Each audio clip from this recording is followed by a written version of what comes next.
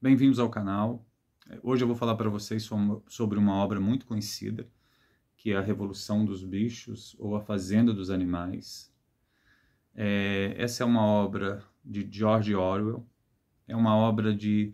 Ela foi escrita em 1944, mas a primeira edição é de 1945.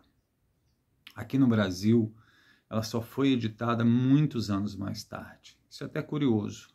Apenas praticamente 20 anos mais tarde que essa obra foi é, editada no Brasil, em 1964, uma data bem simbólica também para nós brasileiros, né? É, ela teve muita dificuldade de ser é, comprada pelas editoras, o autor não conseguia publicar essa obra assim que ele acabou de escrever. Esse lapso de tempo entre 44, de mais ou menos um ano, é, que ele terminou de escrever e a publicação se explica um pouco por isso. É, ela é uma, uma fábula sobre, de animais, animais com funções humanas, com atitudes humanas, com fala humana.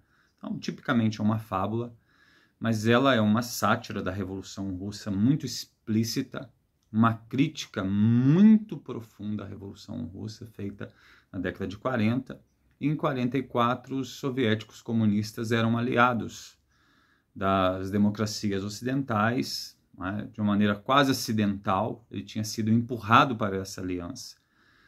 E causava um certo desconforto a publicação dessa obra pelos países ocidentais. Então, ela não, é, não era uma obra bem-vinda é, por amplos setores. Setores progressistas, por óbvio, que não gostavam não, não gostaram da crítica, e por setores conservadores também, porque, como eu disse para vocês, os comunistas soviéticos de Stalin tinham sido empurrados para, para essa aliança com as, as democracias, a maioria das democracias ocidentais. É empurrado por quê? Porque em 1939 Stalin e Hitler fizeram um pacto de amizade e aliança, um pacto é, conhecido como Pacto Germano-Soviético, no qual eles se aliaram, invadiram a Polônia conjunta, conjuntamente. Né? Os soviéticos foram, foram uns dias mais tarde do que os alemães, mas invadiram conjuntamente a Polônia e fizeram um pacto de aliança e amizade, conhecido como Pacto Germânico-Soviético. É, é, Stalin foi traído, agredido por Hitler, pela Alemanha nazista, e com isso ele acabou se tornando membro do, dos aliados e vencedores da Segunda Guerra Mundial. Então, assim, acidentalmente, a União Soviética e os comunistas da Rússia eram aliados das democracias ocidentais em 1944. Então, causava um desconforto publicar uma obra que era uma crítica muito contundente, muito profunda à Revolução, à Revolução Russa e a construção do socialismo, do comunismo na União Soviética. Existem nuances de diferenças é, e diferenças entre essas palavras, mas no momento não, não vai fica muito longo para falar sobre isso aqui. Né? Bem, enfim. É, então, assim, outra, outra, outro fato envolvendo essa obra, porque ela foi muito poderosa e ela continua sendo muito poderosa como uma crítica a ao comunismo soviético é o fato dela ser muito simples, clara e acessível. Então, assim, qual, quase qualquer pessoa, quase praticamente qualquer leitor consegue entender essa crítica profunda aqui, consegue observar esses fatos. É, e isso tornou essa obra um instrumento muito poderoso para demonstrar a, a, a miséria, a crueldade as trevas é, obscuras do totalitarismo soviético. Por isso, uma obra muito poderosa nesse sentido. Então, é, a obra em si é uma fábula, como eu disse para vocês, que se passa numa granja. Granja é uma pequena propriedade, um sítio aqui no Brasil seria mais ou menos isso, um sítio. Mas para nós a ideia de fazenda é outra coisa. Tá? Mas seria um sítio tocado por uma família, no máximo um funcionário ou dois, é, é pequena dimensão, pequena propriedade, poucos recursos, onde o dono se envolve diretamente no trabalho. E é nessa, nessa localidade que acontece essa revolução, essa é, revolta dos animais explorados, é, sacrificados, inclusive, né? E esses animais vão é, assumir o controle da granja. Então a obra fala disso. É uma obra clara, é uma obra enxuta, é uma obra fácil, é uma obra acessível e é uma obra grandiosa, porque consegue fazer um resumo desses eventos de forma muito é, objetiva, muito competente, né? Muito agradável de ler, muito fácil de ler. Então, assim, eu diria que ela é uma obra é, gigantesca nesse sentido. O autor conseguiu simplificar, conseguiu passar a mensagem de uma forma muito é, honesta aqui nesse livro. Aqui no Brasil, ela foi traduzida pela primeira vez em 1964, como eu disse para vocês, com o nome de Revolução dos Bichos. Foi assim que eu conheci essa obra, como Revolução dos Bichos. Acho, acho um título feliz, talvez por eu ter me acostumado com esse título. É, eu sempre me referi a essa obra e essa por esse título, A Revolução dos Bichos. Bem, enfim, ele mostra é, de forma a, a, é, na qual tem um líder, um teórico da revolução, da exploração e do sofrimento dos animais. Esse líder fala para os animais, ele fala para os animais à noite, ele está inclusive já idoso, perto da morte, é um porco. É, os porcos são aqui os mais inteligentes dos animais. Esse esse porco fala para eles o que eles sofrem, que eles teriam oportunidade, deveriam assumir o controle de suas vidas, assumir o controle dos, da, da granja, da fazenda dos animais, para que eles não fossem explorados. Aqui é a base, é o início da obra. Esse porco morre, os animais ouviram falar disso, fica mais ou menos assim até que ah, acontece quase de forma acidental é, o, o, a revolta e o controle da fazenda pelos animais. É quase acidental. O, o dono fica bêbado, esquece de tratar das vacas, os animais ficam com fome, quebram as porteiras, é, espalha-se um caos, um vácuo de poder, é um vácuo de controle e o fazendeiro acaba fugindo, o funcionário dele fugindo e, e os animais acabam assumindo o controle. E aí eles vão começar a administrar a fazenda, só que ao começar a administrar a fazenda, é, aos poucos os porcos vão assumindo o controle, vão assumindo o controle, colocando os animais para trabalhar, é, gradativamente esses animais vão trabalhar mais do que eles trabalhavam com o antigo dono e é mais do que os outros animais das outras propriedades vizinhas. Começa uma exploração brutal desses animais para beneficiar os porcos. Né? Os porcos vão assumir o controle dos humanos, estabelecendo uma, uma exploração ainda mais brutal do que os humanos faziam sobre os animais. É, a princípio, eles vão argumentando, convencendo de que eles precisavam do leite, porque as tarefas intelectuais deles eram mais exigentes e mais sofisticadas, então todo o leite é reservado para eles. Eles convencem os animais de maneira voluntária a, esticar os horários de trabalho, a terminar o trabalho é, num prazo menor do que eles faziam quando o proprietário era humano. Isso vai na base de um convencimento de se tornar um modelo, de se tornar um exemplo, é, atraindo um, um aspecto mais voluntário dessa dedicação e desse trabalho. Mas, é, gradativamente, essa, essa, esse aspecto voluntário vai se desmanchando e vai se impondo um regime de terror sobre os animais. Vai se impondo um regime de terror sobre os animais, é, principalmente com o uso de cães ferozes que chegam a estraçalhar alguns animais num evento, derramar sangue de forma extremamente brutal e cruel, sanguinária. Tá? Então, assim, um convencimento, um medo e um terror aos poucos se impõem sobre a todos os habitantes dessa fazenda. É, Cria-se um, um espantalho, um inimigo imaginário, há uma dissidência entre os porcos.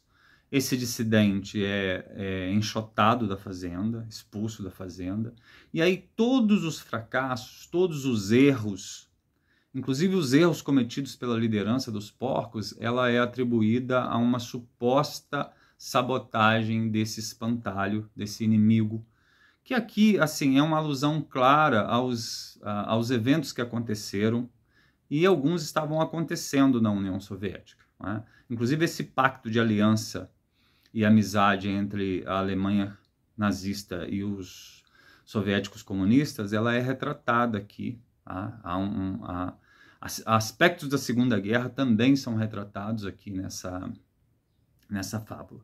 Mas aí a gente tem assim uma, uma referência muito clara ao, ao à expulsão do Trotsky, à perseguição, a, a acusação de, vários, de várias pessoas que ficaram na União Soviética e foram brutalmente seviciados, torturados, executados é, por estar supostamente mancomunados com Trotsky, mas era tudo muito supostamente mesmo, tudo quase que uma invenção do terror stalinista. É, e aí isso é retratado aqui de maneira muito simples, muito acessível para qualquer leitor. Tá? É uma obra, então assim, uma obra muito importante, é uma obra muito relevante, uma obra muito significativa, uma obra muito bem escrita, é, independente da mensagem, independente do recado, independente de qualquer coisa, é uma obra extremamente bem escrita, sabe? É, é deliciosa de ler. Ela, eu gostei muito de, de todas as vezes em que eu li essa obra, eu li essa obra mais de uma vez. Então, por isso eu recomendo que vocês leiam. O importante é vocês lerem e vocês tirarem suas conclusões. Tá? É importante que vocês leiam e tirem suas conclusões. A leitura ela deve servir para libertar a gente de certos preconceitos, de certas prisões, de certas jaulas mentais. Para isso que a leitura deve servir. É, eu, às vezes, é, cito a mim mesmo aqui é, não, não tem assim uma vaidade nisso que eu estou fazendo. É para usar como exemplo de como a leitura foi importante para mim e o quanto eu espero que ela seja importante para as pessoas. Embora eu saiba que, é, eu, que eu tenho essa expectativa de, dessa libertação da jaula mental, às vezes a leitura ela pode reforçar preconceitos, às vezes ela pode reforçar cadeias reforçar a grade, a jaula cultural e mental que é, insiste em permanecer na nossa cabeça. Então, às vezes isso pode acontecer, mas a minha expectativa é que ela quebre essas cadeias. Minha expectativa sempre é essa. Por isso, às vezes, eu cito a mim mesmo como exemplo, por ser um leitor, um simples leitor, é, que as leituras ajudaram muito a quebrar essa, essa prisão mental. E é, a Revolução dos Bichos, eu já fiz até um outro vídeo aqui para vocês sobre a Revolução dos Bichos, mas acabei perdendo, descartando. Não sei exatamente porquê.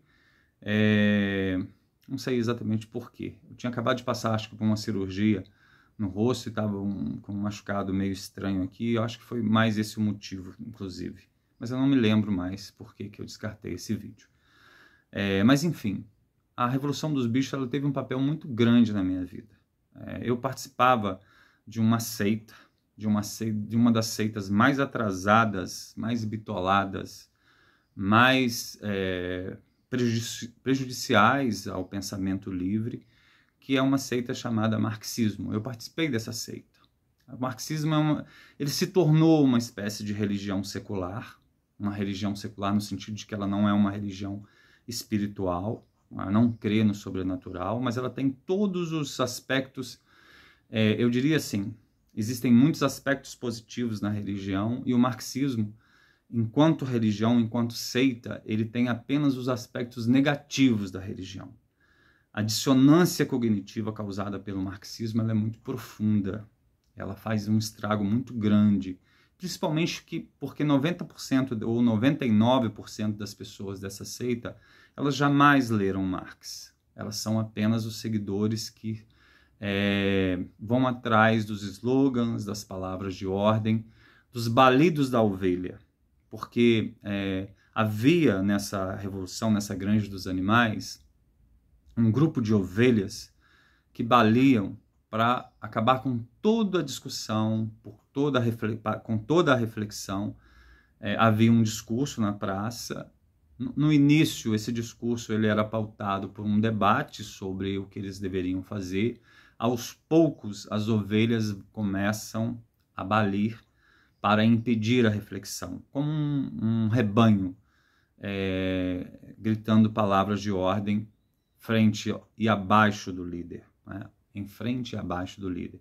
Então, é, é, o marxismo como uma seita secular, ele é muito isso. Uma repetição de chavões, uma repetição de palavras de ordem de pessoas que jamais leram é, Marx, jamais leram uma obra de Marx. Acredito que alguns não leram obra nenhuma mesmo, só repetem os chavões e as palavras de ordem. Mas, enfim, é o que a gente tem aqui é, nessa, nessa Revolução dos Bichos. Foi, foi muito importante para mim, voltando à questão, porque eu participava dessa seita e tinha ouvido falar dessa obra. Ela não tinha sido apresentada para mim. Tem mais de 30 anos isso, mais de 30 anos. Havia numa cidade pequena um vendedor, um vendedor ambulante de livros, um livrinho muito, de um material muito ruinzinho, um material da editora Globo, um livro pequenininho.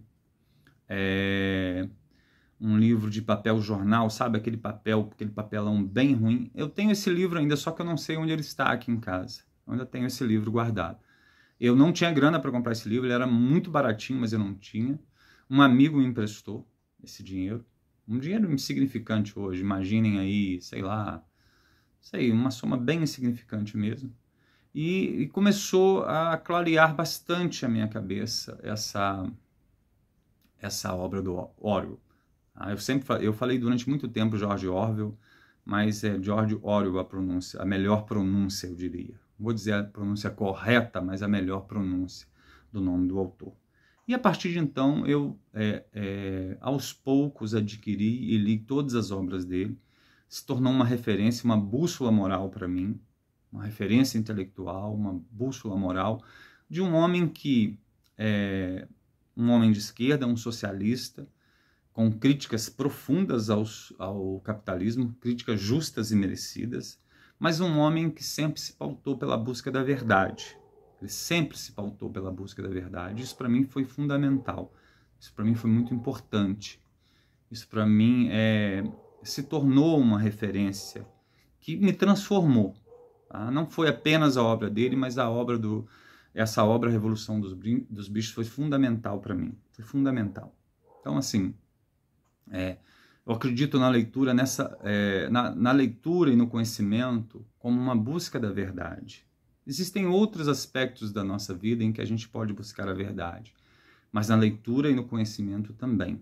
A gente pode errar, a gente pode estar errado em alguns momentos, mas a gente deve insistir nessa busca da verdade é, para que a gente supere essa prisão mental, essa jaula intelectual, causada, em alguns dos casos, por superstições, por preconceitos e por é, seitas seculares como um marxismo tosco, né? um marxismo tosco, que é, o, na maior parte das vezes, um marxismo tosco é, desprovido, inclusive, de, de profundidade, raso, bastante raso, bastante raso, bastante atrasado, bastante obscuro, bastante tacanho, sabe? Uma coisa uma coisa pavorosa. É, enfim, é, a obra é isso. Leiam, tirem suas conclusões. Leiam e tirem suas conclusões. O, o ideal é ler. Até vou dizer uma coisa para vocês. Leiam mais e assistam menos vídeos. Saiam um pouco da internet, saiam um pouco do YouTube, saiam um pouco das redes sociais e procurem ler o máximo que vocês puderem. Leiam por prazer, leiam para aprender, leiam para se libertar. Embora eu saiba que nem sempre a leitura traz esse, é, esse resultado positivo. Às vezes ela pode trazer resultados negativos também. É, outra coisa é o seguinte: é, voltando a uma questão aqui, esse livro se envolveu em várias polêmicas, porque com a Guerra Fria ele acaba se tornando um material de propaganda por parte do, do Ocidente, por parte do, do capitalismo, por parte da, dos Estados Unidos, enfim, e de agências duvidosas que acabaram promovendo essa obra. Mas isso não diminui a obra em nada. Ela está envolvida nessas polêmicas, inclusive nessa obra comemorativa aqui. Tá? É uma edição comemorativa muito bonita da Companhia das Letras, uma capa de tecido, não sei se dá para perceber no vídeo, mas é uma capa de tecido tem várias críticas aqui de vários críticos famosos do, do mundo inteiro, diria assim. Tem um pós-fácil que é bem ruim. Pós-fácil é bem ruim. Achei um pós-fácil ruim, fraco. Mas enfim, é, não, não diminui a qualidade da obra. Só que essa obra ficou envolvida nessa polêmica. Não atrapalhou em nada. Ela acabou se espalhando, acabou se tornando muito lida e eu acho que vocês devem ler.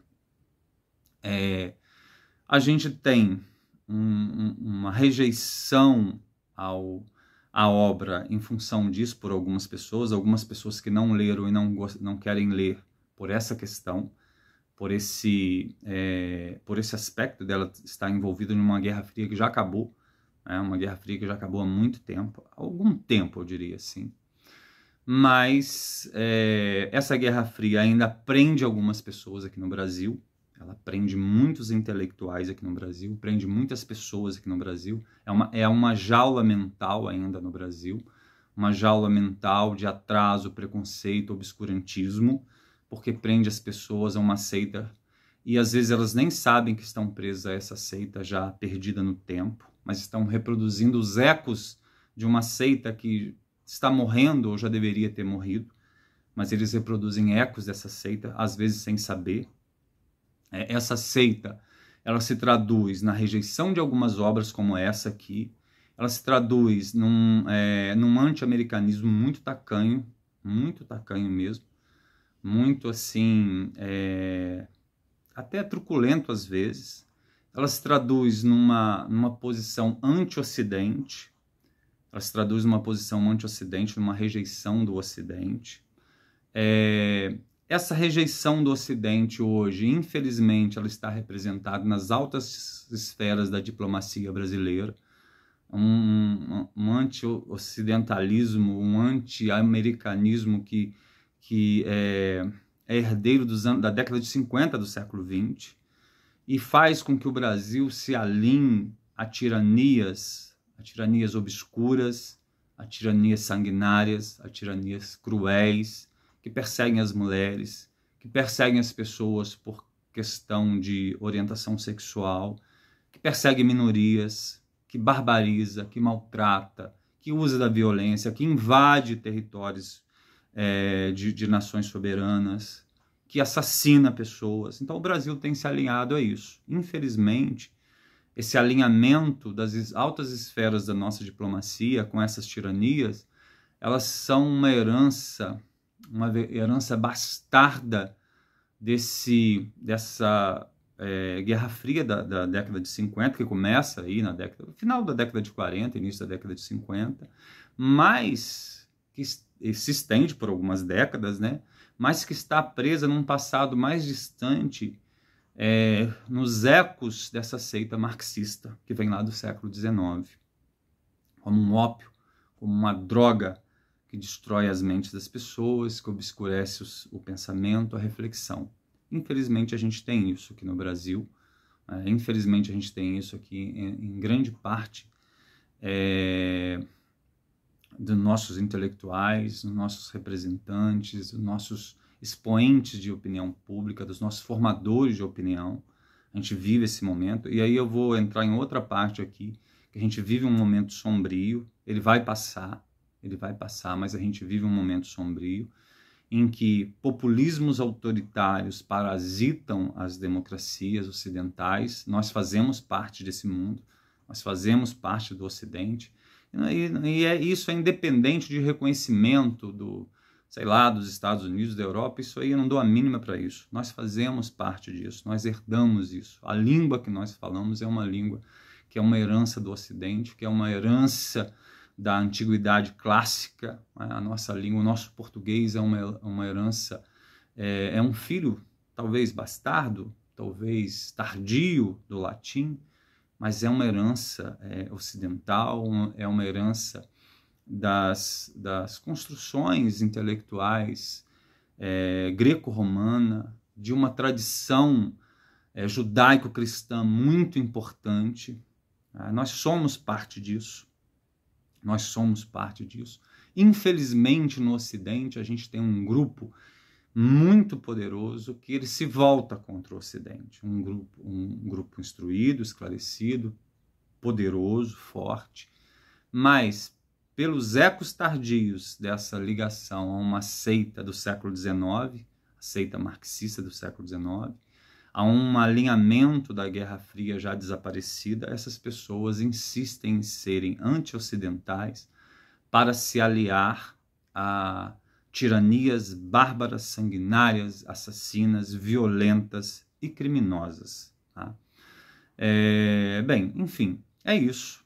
É, outra coisa é o seguinte: aqui nessa obra fica exposto, inclusive, a hipocrisia, a hipocrisia de vários líderes comunistas, vários líderes comunistas que, que desfrutam do conforto, de todas as benesses que o mundo material pode oferecer, enquanto exigem sacrifício dos trabalhadores, sacrifício dos operários, explora brutalmente esses trabalhadores. Mas como tem o discurso certo, a narrativa certa, a posição política certa, eles acabam sendo adorados e admirados por seus seguidores, numa dissonância cognitiva profunda.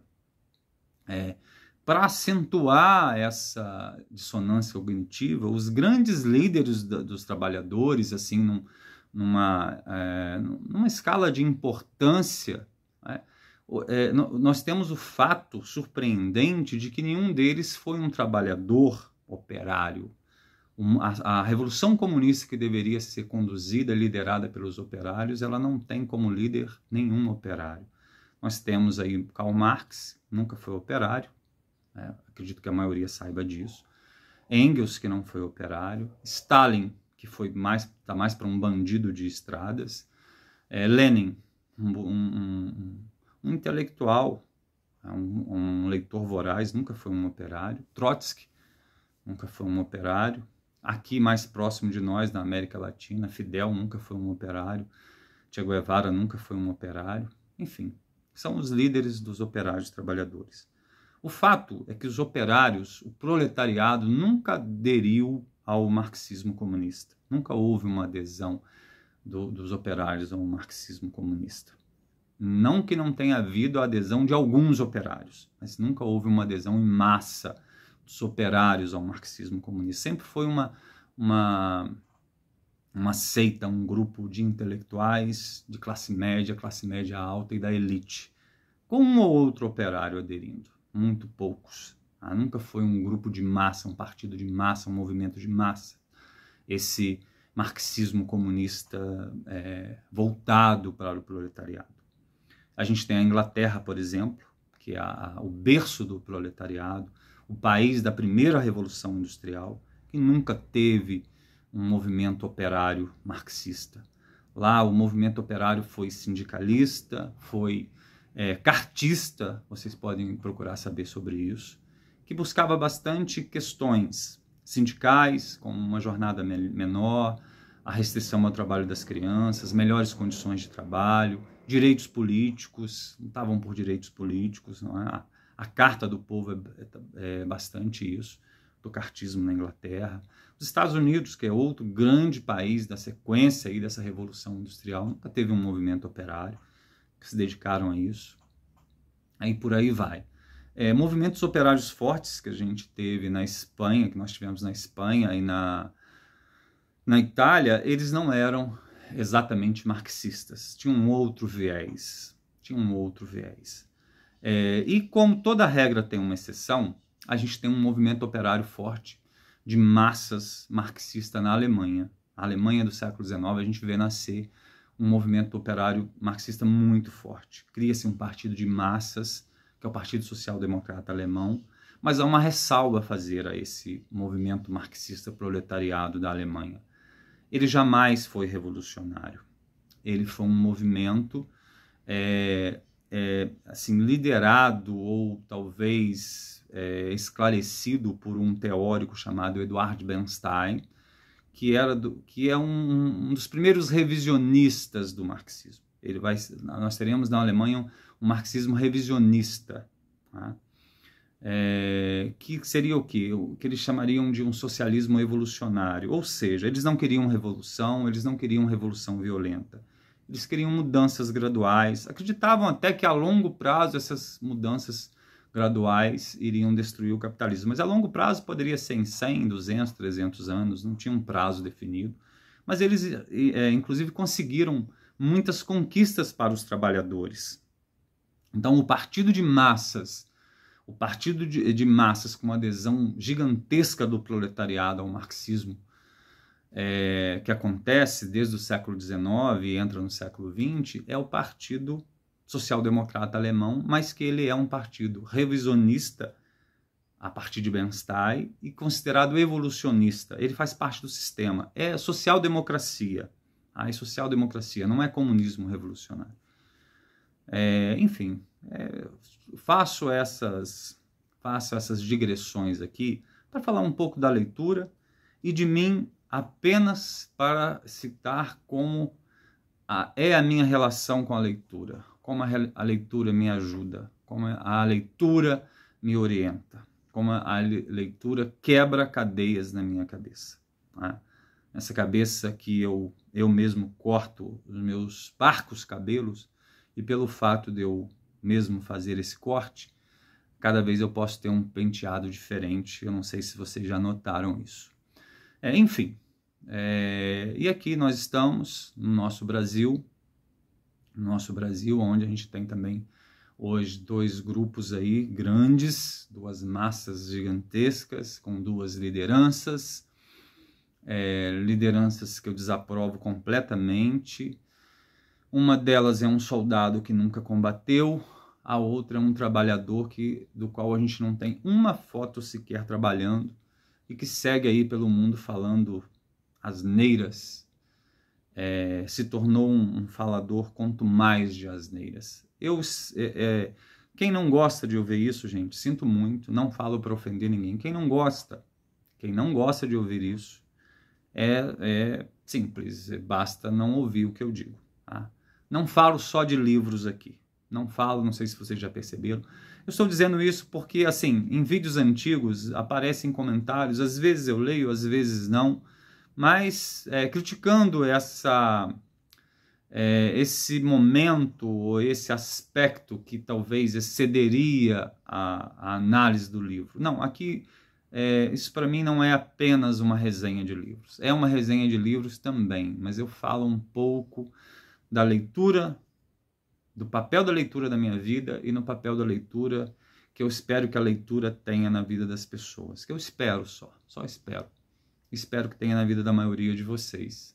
É, que são todos leitores capazes, competentes, em condições de aprender o que vocês estão lendo e não é, fiquem nos vídeos. Não, não vou dizer nos meus, porque os meus são, sim, são os menos importantes mas procurem os livros, leiam, leiam, leiam as obras, tirem suas conclusões, coloquem os fatos na frente dos, seus, dos olhos de vocês, né, dos seus olhos, apeguem-se aos fatos e usem os fatos e a leitura para destruir a, a, a prisão, a cadeia, a jaula que tenta cercar a nossa mente a todo momento. E ela existe, ela está sempre lá, à espera, ela está sempre à espera porque é mais confortável deixar essa jaula dentro da cabeça da gente.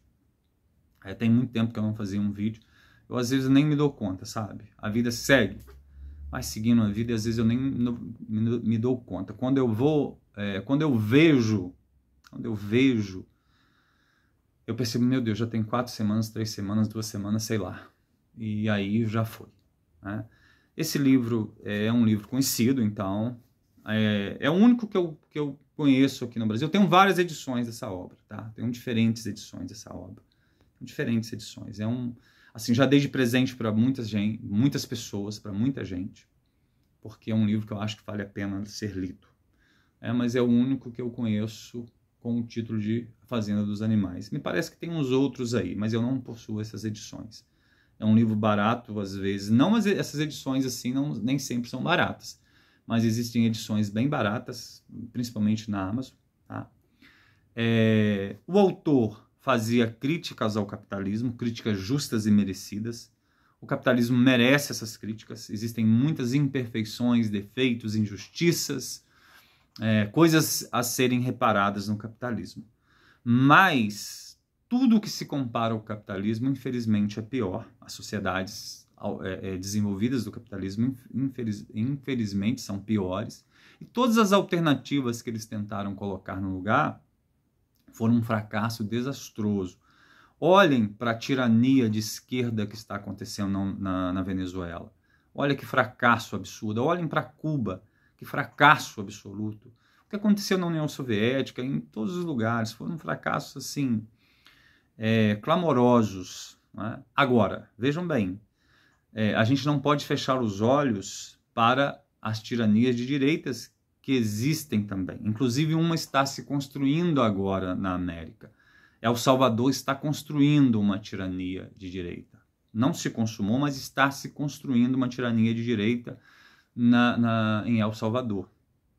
Se vocês tiverem tempo de observar, existe um presidente jovem lá que assumiu com um problema de segurança grave, ele resolveu esse problema, existem méritos na solução desse problema, mas a par desses problemas de segurança, de violência, mas a partir daí ele está construindo uma ditadura com uma estética fascista, com uma estética é, fascista cafona, brega, sabe? Os guardinhas dele parecendo até um, um, um jogo de Street Fighter das, dos anos 80, com aqueles caps enormes, umas umas capas na, na, nas costas, uma estética fascista bananeira, uma estética fascista cafona, antiquada, horrorosa, mas está construindo uma ditadura. E assim, eu não simpatizo com nenhum tipo de ditadura, nem é, regimes totalitários, nem de esquerda, nem de direita. Abomino todos eles. E eu vejo muita gente de direita hoje no Brasil que critica merecidamente as ditaduras que existem, como na Venezuela, que é uma ditadura socialista de esquerda, mas são incapazes de reconhecer o que está acontecendo em El Salvador. Bem, é isso. Falei bastante, falei demais. É, quem chegou até aqui, espero que alguém tenha chegado até aqui, que possa ler, que possa tirar suas conclusões. Se gostou, dá um, um, um joinha aí. Se gostou, compartilhe o vídeo. Se acha que vale a pena, se inscreva. E é isso. Né? Não tem nada mais do que isso para falar para vocês. Um abraço a todos e até o próximo vídeo.